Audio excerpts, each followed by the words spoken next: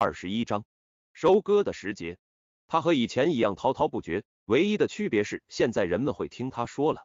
南希芒格，南希芒格安排了一次划船之旅，目的地是米利湖，它是和卡斯湖相连的七个小湖中的一个。他第一次结婚时所生的儿子戴维·博斯威克负责开船，南希和芒格担任导游。这是八月的一天，天空看起来比往常要宽上两倍，湖水在阳光的照耀下就像是蓝色花边和银丝交织在一起。一群人坐着芒格家最大的一艘船出发，到湖面芦苇丛生的地带，探访从上游源头一路蜿蜒下来的密西西比河初段。在密西西比河离开卡斯湖的地方有一座大坝，一九九九年。这里水位很高，即使是一艘独木舟也能从上面划过。不难想象，当一名十六世纪的探险家或者一名法国猎人第一次发现这一区域时的心情。戴维将船驶入另一条小河，经过了一家乡村小旅店，在桥下有一群年轻人排着队向过往船只招手，然后纵身跳入清澈的河水中，继续往前开。见到的景象是越来越荒无人烟。米粒湖没有起错名字，是一片纯净的湖水，四周稻田围绕，芦苇随着微风轻轻摇曳，到处都是海狸造的坝。我们甩根线钓鱼吧，芒格建议。他边说边指导戴维把船开到一个水道口，这个地方比河流宽一些，但不能完全称得上是一条河。我们是不是离岸太近了？南希反复提出自己的担心。没有，芒格说。他催着戴维开到河流的一边，然后让船飘过入水口。接着，当船快要接近水很浅、到处都是芦苇的岸边时，迅速的开回去。没多久，又刮起了一阵强风，把船吹进了浓密的水稻田里。戴维开动了马达，但是芦苇杆和杂草很快就缠在了螺旋桨上，马达开始空转，很快就散发出一种像是要烧焦的味道。芒格、戴维和一个客人都跑到船尾，弯下身，把又绿又长的茎杆从螺旋桨上剥掉。不停的试着清理出一块地方，让马达可以运转的时间长一些，把船开进更深的水域。为了不显露自己的沮丧，也许是为了避免说出“我早就告诉过你”这样的话，南希抬头在天空中追寻鸟儿的踪迹，非常幸运的看到一只鹰在远处一棵高大的松树旁盘旋。他是一名观鸟爱好者，听人说米粒湖附近有鹰巢。当鸟儿振翅远飞的时候，话题转到了他的另一个爱好。绘画上面，画画的时候，你总是能注意到云朵暗的那一面在底下，天空靠近地平线的地方更为明亮，越往上看颜色越深。南希解释，茉莉愉快的向大家宣布，鉴于之前有过多次和爸爸一起开船出去的经历，他在宽松裤底下穿的是游泳衣，如有必要，随时可以跳进湖里把船推进轨道。最后，几个男人终于战胜了水稻。这个钓鱼会以两手空空的沿着一连串湖泊回家而宣布告终。开船的时候被杂草缠上或是困在沙洲上，只是芒格家族的传统之一。出于长期的承诺和友谊，同时也因为有好几处家，芒格家族的生活中形成了一系列的仪式。很多个周末，他们都会从洛杉矶开车去圣巴巴拉的那个家。我们爱这幢房子，芒格说，在圣巴巴拉芒格山庄里的那个家，坐落在一片森林里。离沙滩挺远，海景范围有些狭窄，但是仍然能够吹到海边的微风。砖木结构的房子，用加州法式乡村风格来形容最恰当不过。在中庭有一间巨大的阳光房，宽敞的酒窖紧挨着厨房。芒格的书房里有很多和卡斯湖那幢房子里相同的装饰元素，一艘现代帆船，木雕小鸭以及一堆堆的书，其中有萨默塞特·毛姆的书，玛格丽特·撒切尔、马克·吐温和爱因斯坦的传记。罗伯特·赖特写的《道德的动物》，P.J. 伍德豪斯写的《无视盲俱乐部》，边桌上还堆着玫瑰知识大全和法国室内艺术。由于坚信人类获得幸福感的奥秘来自放低目标，我立刻就照办了。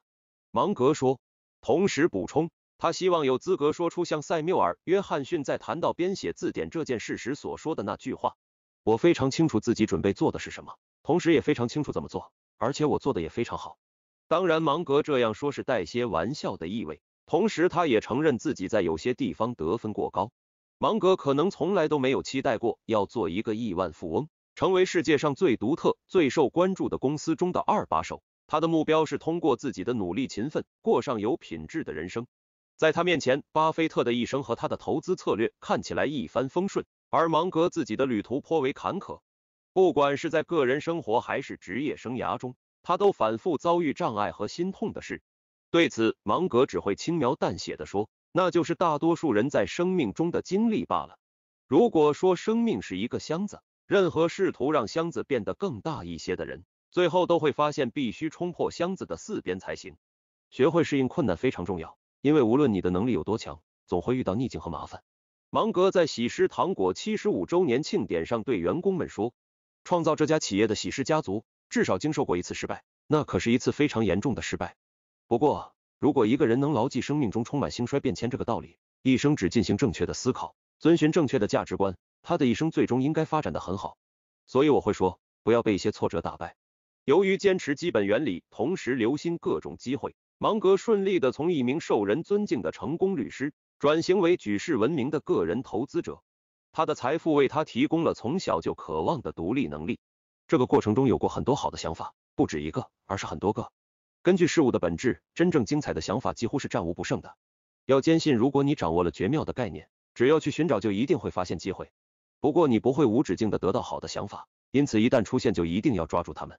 芒格说：“从起点出发。”在没有本金的情况下，积累起第一个十万美元是财富建设过程中最艰难的阶段。赚到第一个一百万是第二大障碍。要做到这一点，就必须常年保持入大于出。财富的积累，他解释说，就好像是滚雪球，从一座高山的顶端开始，会给你带来很大的帮助。也就是说，滚雪球开始的要早，让滚动的时间尽可能的长。这对于人的长寿也同样适用。沃伦·巴菲特以极端简朴的生活方式而著称，除了看年报、定期打桥牌和偶然打打高尔夫之外，几乎没什么爱好。实际上，为了和众多朋友一起共度美好时光，以及参加各类商务会议，巴菲特的行程安排的相当紧张。查理·芒格不能被形容为一个挥霍无度的人，不过他的生活相当充实，而且称得上丰富多彩。的确，当伯克希尔遭遇危机需要他的时候，他会飞奔而至，同时他也在洛杉矶每日新闻、威斯科金融集团、慈善撒玛利亚医院和哈佛西湖中学承担自己的义务。不过，在南希的陪伴下，他也探访了从缅因州到爱达荷州的朋友们，在夏威夷打高尔夫球，辗转各大洲，在各类水域中钓鳟鱼、北梭鱼、大西洋鲑鱼或者任何可能上钩的鱼。他曾经和朋友马歇尔以及奥蒂斯·布斯到澳大利亚的雨林去探险。也和家人一起去英国、意大利以及其他地方。他贪得无厌的阅读，从恐龙到黑洞理论，再到心理学。考虑到有八个孩子，孩子们还有各自的家庭，光是参加生日派对、毕业典礼、婚礼、洗礼仪式和假期活动，就能让他的社交生活忙碌无比了。虽然年纪和财富在增长，芒格仍然避免让自己的生活受人关注。不过他略微能够接受一些了。巴菲特笑我乘坐经济舱。这种事情我过去做的比较多，芒格说。现在和南希一起旅行的时候，我们通常坐头等舱或者商务舱。最终，芒格通过伯克希尔旗下的行政专机公司登记了一架分时私人飞机。虽然股东们来到伯克希尔和威斯科金融的年度股东大会是为了寻求财富智慧，他们也会经常向芒格提出如何合理的养家，这是芒格拥有丰富经验的另一个话题。我对每一个孩子的道德品行和行为举止都相当满意，芒格说。不过，对于如何让他们更努力的工作，让他们成为比自己更富有的人，他就不太肯定了。我的孩子们在普通和富裕环境中出生的都有，他说。说句实话，当我们不太有钱的时候，抚养的孩子如今工作的更努力一点。芒格的孩子们大多看穿了爸爸坏脾气的外表，不太可能被这样的评论扰乱心绪。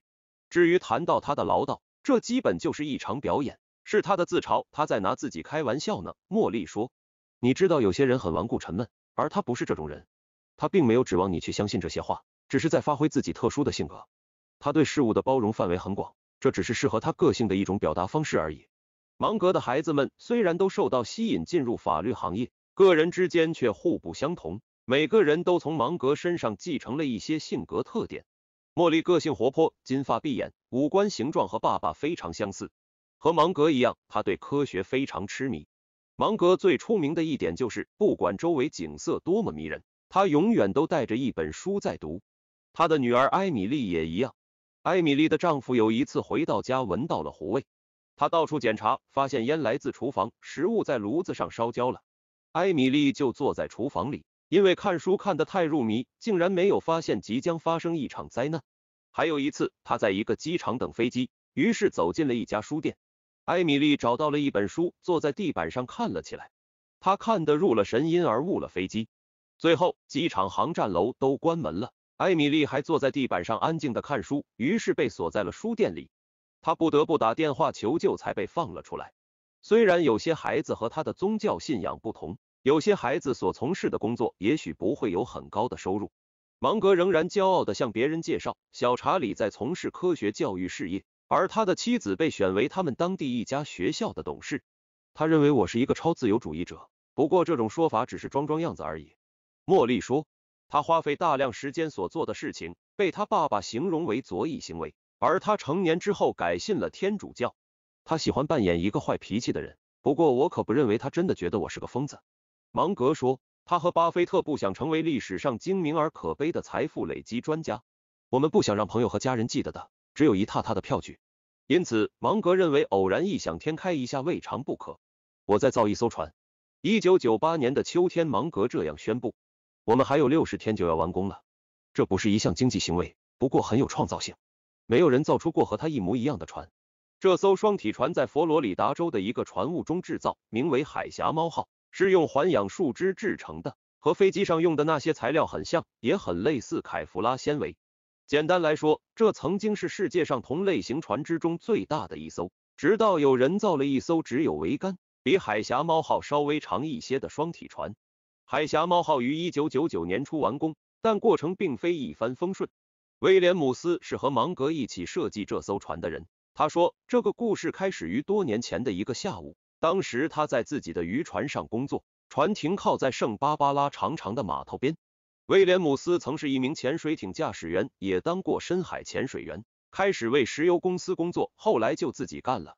他靠在海峡群岛附近打捞海胆为生，这里出产的品种是全世界最好的。海胆在圣巴巴拉出售，连夜运到日本，在那里被烹制成精美的食物。不幸的是，威廉姆斯因在水下待得太久。开始出现潜水病的症状，非常痛苦。威廉姆斯那艘旧的东海岸号捕龙虾船吸引了很多在码头走来走去的游客的注意。这两个老先生看着我的船，表示非常欣赏。威廉姆斯说：“查理芒格和他的一个朋友进行了自我介绍，我完全不知道他们是谁。”这两个人问了各种各样的问题。过了一会儿，威廉姆斯提出带他们坐船转一圈。自那以后，芒格时不时的打个电话过来。然后他就和威廉姆斯一起去吃个午饭，讨论的话题主要集中在芒格最痴迷的两件事上：钓鱼和船。渐渐的，两个人成了朋友。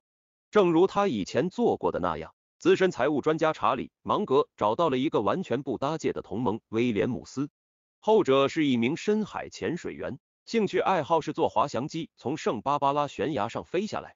威廉姆斯是一个很好相处的大块头，五十来岁。整天笑呵呵的，他看起来不怕任何体力方面的挑战。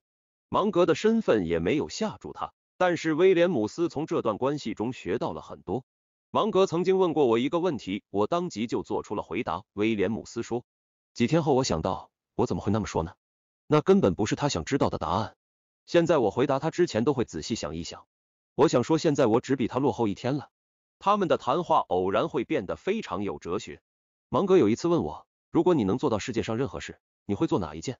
我说我会造一艘自己能造得出的最大的一艘双体船，然后扬帆远航，你就再也看不到我了。芒格接着问他为什么要造双体船，然后他们就开始讨论那种类型的船有什么好处和不足之处。然而威廉姆斯对于接下来要发生什么毫无准备，就像一个典型的冒险家一样，他只是在游戏。有一天他说去找艘双体船来。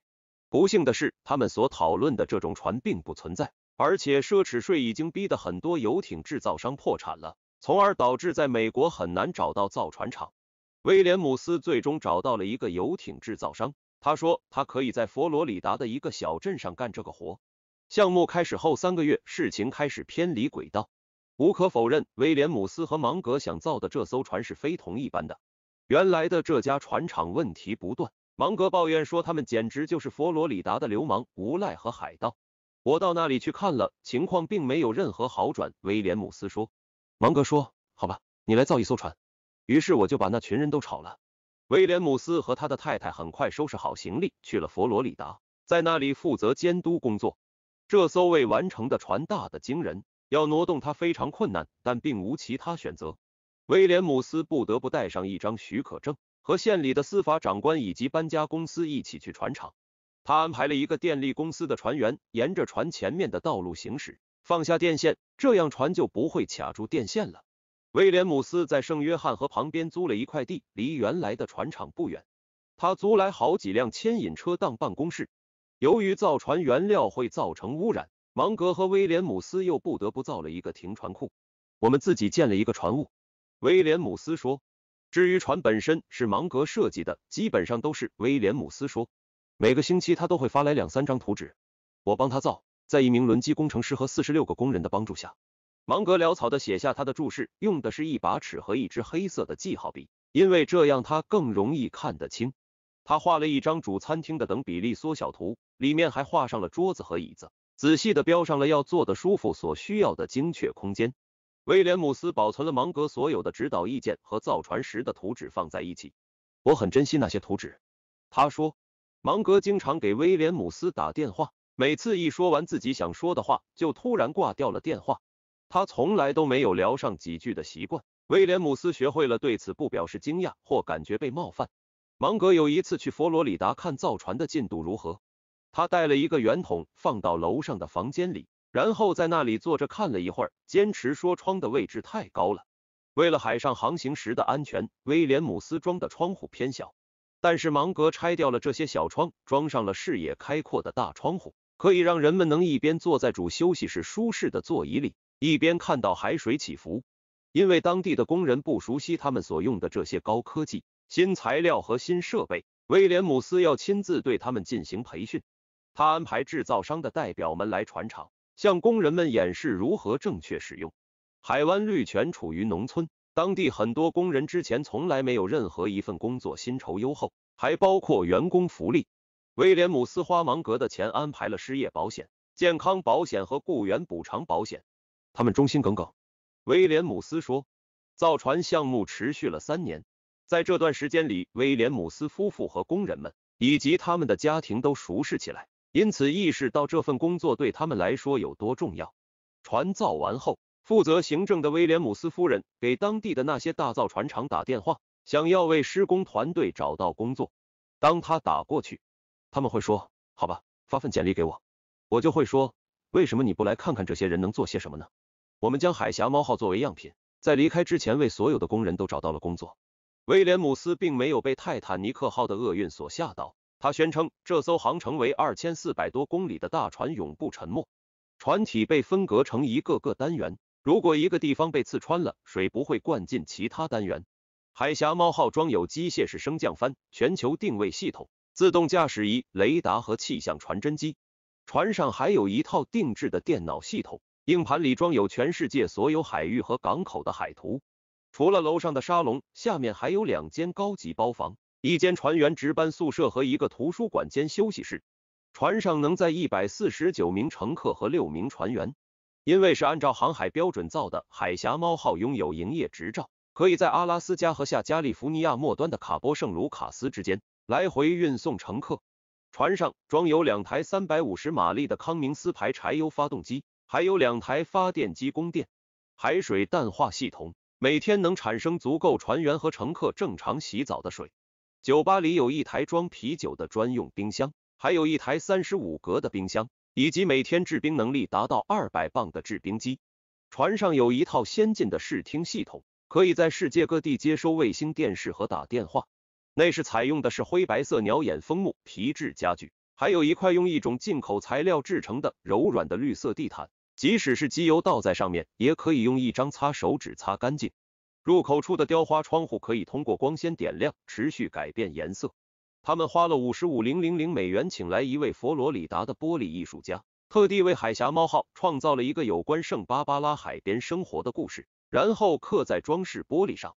入口第一扇门的玻璃窗上刻的是一片海草丛，接着在休息室的门口展示了可能在海草丛中找到的各种海洋生物。玻璃上的故事遍及船舱，一直延伸到楼下的卧室区。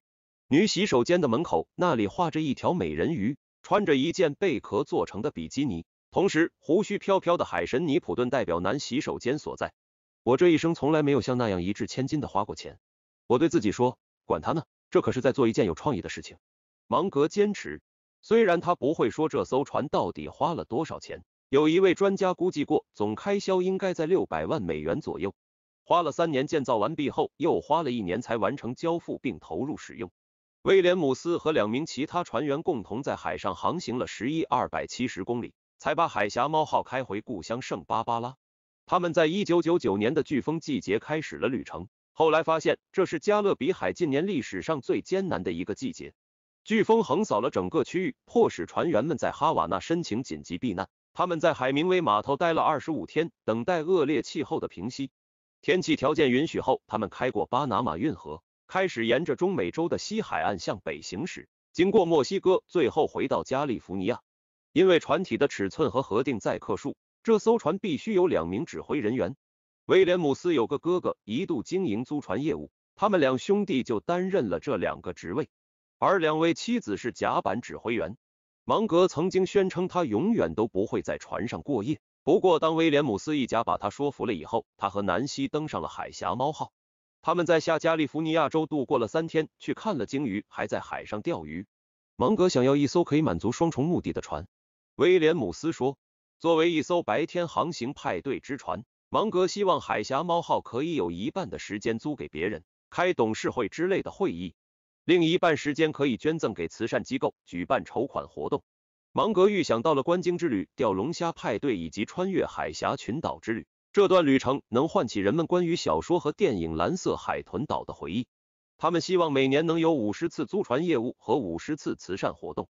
部分是因为当地船主们的反对，部分是因为船本身的庞大体积。这艘船本身没有获得在圣巴巴拉以外的经营许可。然而，他们曾经故意跑到其他港口。有时凭着一张转授权证书驶出圣巴巴拉。威廉姆斯一家曾经在加利福尼亚的蒙特利举行过一次巴菲特小团体派对，参加的人有巴菲特、比尔盖茨以及其他著名的公司精英。在船上为六十五人提供了一顿有七道佳肴的宴会。虽然船上有设备齐全的厨房，其中还包括两台对流烤箱，这顿晚餐还是从陆地供应上来的。艾米丽·芒格在加州的新港海滩举办了他的四十岁生日派对，地点就在船的甲板上。他的朋友们从世界各地飞来参加这一活动。大船完工后的一天，威廉姆斯和芒格正在穿过一个船码头的停车场，有一辆车倒出车位向他们直冲过来。威廉姆斯朝司机大喊，他才在即将撞上芒格前的一瞬间紧急刹了车。芒格对威廉姆斯说：“你大概救了我一命。”威廉姆斯回答：“芒格，我永远都不会让你有事的。”芒格反驳说：“你正走的这边是错的。”他的意思是他的左眼失明，而威廉姆斯却走在他右边。芒格纯粹为了取乐，花了六百万美元造了艘船。这件事在他的家人和朋友们看来，即使称不上怪诞，也非同寻常。即便是威廉姆斯也这么觉得。芒格是非常务实的。威廉姆斯说：“有一天我们正开着车，芒格说。”我要给你看我造的一座房子。芒格指挥威廉姆斯开到了蒙特奇托温泉路的尽头。他只给我看一所俯瞰太平洋的大宅，里面有一个小型游泳池，花园占地面积大，但要开一辆高尔夫球车才能到处走动。我说，芒格，这是你退休后住的地方。芒格回答说，不，我从来都不喜欢这种地方。他对于冲动这件事充满怀疑。茉莉芒格评价，我们听到很多故事，都是关于冲动会如何让你做出傻事的。我试图回想起有哪一次他说过带着勇气前行，感受那种气氛，让自己沉浸在那一时刻。可是，一次都没有。那不是他的风格。不过，茉莉说，经常有信号表明他的父亲可以变得轻飘飘起来。然而，这样乏味的一个人，不会走路的时候，好像脚下装了个弹簧。一些问题检查完后，你就会感到安全。他非常会关心别人。茉莉说，有一种比较好的解释，就是他是一个非常容易动感情的人。他用强大的心理控制能力成功掩饰了这一点。他是独特的情绪化和反情绪化的矛盾组合。结束语。